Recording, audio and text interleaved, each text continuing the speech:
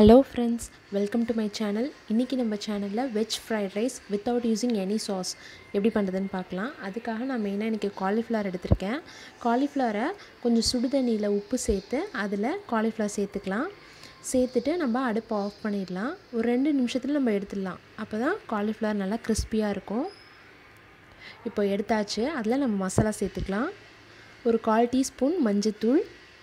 ஒன்றரை tea table spoon அளவுக்கு மிளகாய்த்தூள் சேர்த்துக்கிறேன். கொஞ்சமாக உப்பு. இது எல்லாத்தையும் சேர்த்து ஃபஸ்ட்டு நம்ம நல்லா கலந்துக்கலாம். அப்போ தான் வந்து அந்த மசாலா அதில் வந்து நல்லா கோட் ஆகும்.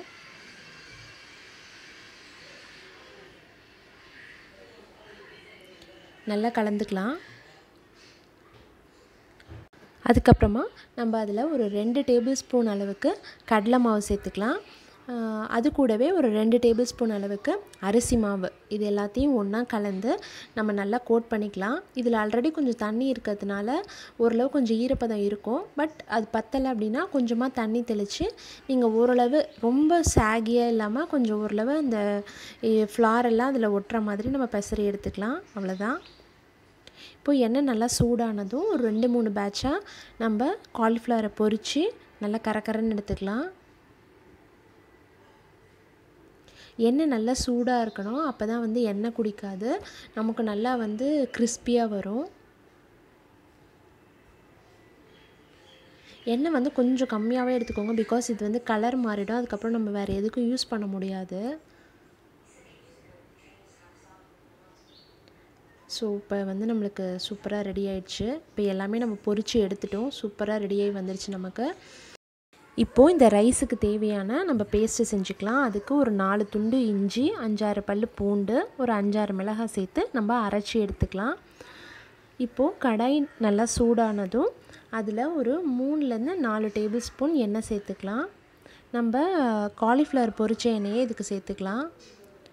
எண்ணெய் நல்லா காஞ்சதும் ஒரு மீடியம் சைஸ் வெங்காயம் நறுக்கி வச்சுருக்கேன். அதை இது கூட சேர்த்து ஒரு பத்து செகண்ட்லேயே அந்த நம்ம அரைச்சி வச்சுருக்க அந்த பேஸ்ட்டையும் இது கூட நல்லா சேர்த்து வதக்கிக்கலாம். அப்போ தான் அந்த பேஸ்ட்டில் உள்ள இஞ்சி பூண்டு மிளகாவோட பச்சை வாசனை போகும்.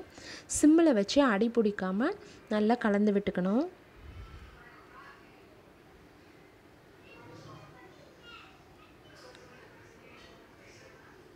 ஓரளவு வதங்கினதுக்கு அப்புறமா நம்ம நறுக்கி வச்சுருக்கிற வெஜிடபிள்ஸை இதில் சேர்த்துக்கலாம். நான் வந்து பீன்ஸு அப்புறமா ஒரு கேரட்டு ஒரு கே கொஞ்சமாக கேபேஜ் ஒரு கேப்சிகம் சேர்த்துருக்கேன். இந்த வெஜிடபிள்ஸுக்கு தேவையான உப்பும் இது கூட இப்போ சேர்த்துக்கணும். சேர்த்துட்டு அதுக்கப்புறமா நம்ம பொரித்து வச்சுருக்கிற காலிஃப்ளவரையும் இது கூட சேர்த்து நல்லா கலந்து விட்டுக்கலாம்.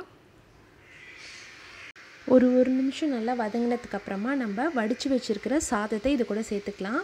நான் வந்து கொஞ்சமாக உப்பு எண்ணெய் சேர்த்து சாதாரண நம்ம சாப்பாட்டு அரிசி தான் வடிச்சிருக்கேன்.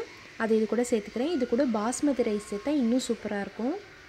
ரைஸ் சேர்த்துட்டு ஒரு ஒரு டேபிள் ஸ்பூன் அளவுக்கு மிளகுத்தூள் சேர்த்து நம்ம நல்லா கலந்து விட்டு எடுத்தோன்னா நம்மளோட வெஜ் ஃப்ரைட் ரைஸ் சூப்பராக ரெடி ஆகிடு ரெடி ஆகிடும் கண்டிப்பாக நீங்கள் வீட்டில் ட்ரை பண்ணி பாருங்கள் ரொம்ப ஹோம்லியாக இருக்கும். எந்த சாஸ் எதுவுமே நம்ம ஆட் பண்ணல. டேஸ்ட்டு கூட கொஞ்சம் ரெஸ்டாரண்ட் ஸ்டைல் தான் இருக்கும். நம்ம குழந்தைங்களுக்கும் ரொம்ப பிடிக்கும். நீங்கள் கண்டிப்பாக ட்ரை பண்ணிவிட்டு எப்படி இருந்தது அப்படிங்கிறத கமெண்ட் செக்ஷனில் சொல்லுங்கள் நம்மளோட சேனலுக்கு சப்ஸ்கிரைப் பண்ணுங்கள் உங்களுக்கு இந்த டிஷ் பிடிச்சிருந்தது அப்படின்னா லைக் பண்ணுங்கள் ஷேர் பண்ணுங்கள் தேங்க்யூ ஸோ மச்